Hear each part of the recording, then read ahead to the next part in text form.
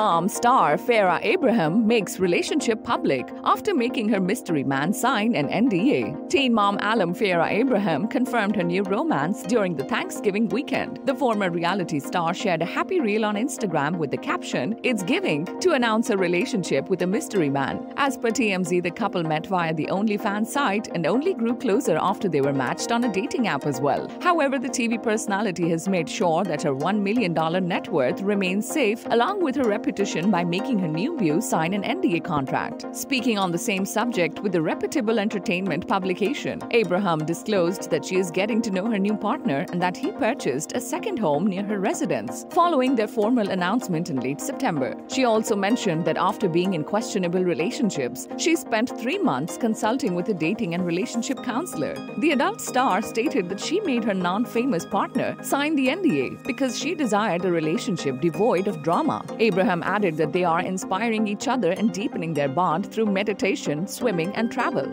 The former MTV personality disclosed that while they are excited their relationship started out as friends, the couple is waiting until winter to get to know one another's families. Subscribe to our channel for the latest on your favorite celebrities. Like, comment, and share, and don't forget to press the bell icon for notifications.